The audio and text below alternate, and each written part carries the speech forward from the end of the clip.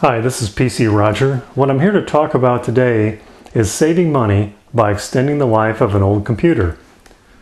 Now here's a Dell Dimension 8200 that's been around for a little while, but it's a Pentium 4, 2.4 gigahertz. It's got an 80 gig hard drive, and it really is, is capable of some pretty decent performance, but it's throttled by one problem. It doesn't have a lot of RAM. Back when this machine was manufactured, 256 megabytes of RAM was considered a lot, and RAM was expensive, especially the RAMBUS type of memory that this machine uses. So what we're going to do today is install some memory that I picked up off of eBay that's going to triple the amount of memory this machine has. We're going to add 512 to this machine. Now, There's a couple points uh, I want to make first. And anytime I really do anything with a machine that's a much more nature than even turning it off, and, and even then, I want to back up the information that's on the machine. Make sure it's backed up before touching it, before opening it, before doing anything. If your data is important, back it up. Don't make any assumptions about it being there when you turn the machine back on, if it turns on at all. Now with RAMBUS memory or RIMM memory, there, uh, really any memory at all, there are different specifications and you want to make sure that everything goes with the machine. Now in the case of this memory, there weren't too many manufacturers and Samsung made a lot of it.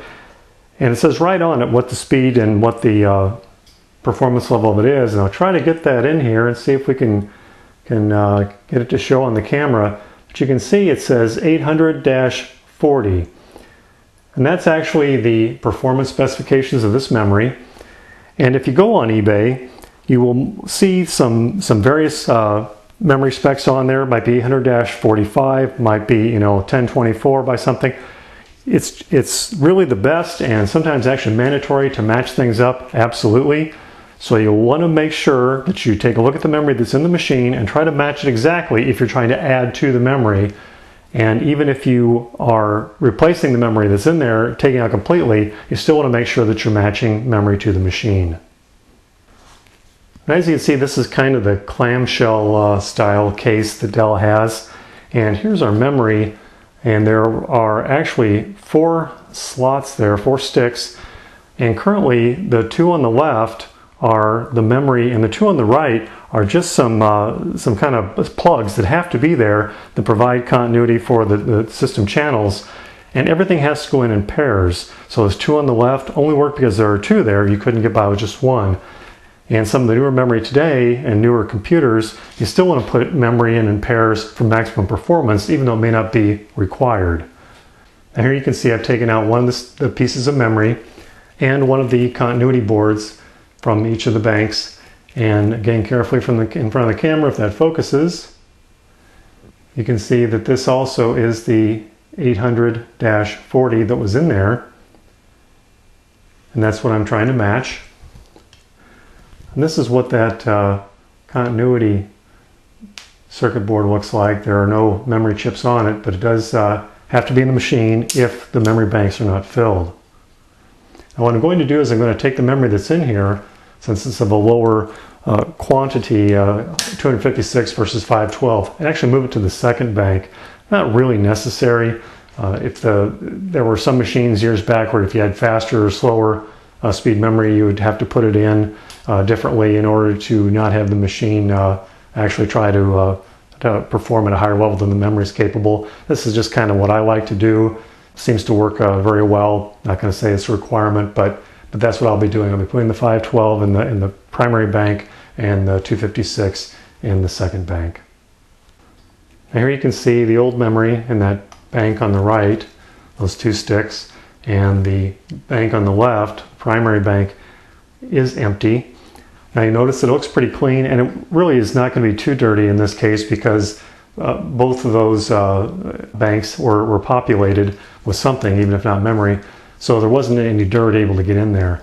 But you're going to want to make sure your computer is clean and get any of the dirt out of there. I've got separate video on, on cleaning, but you're going to want to use a, a type of computer canned air, you know, it's moisture free. Carefully uh, blow out any uh, dust or, or, you know, lint that's in there so that you do get a, a good connection with the memory. And as you can see, the, uh, the memory is keyed, so it really only goes in one direction and make sure that those notches are in the right place and you just nicely snap it in.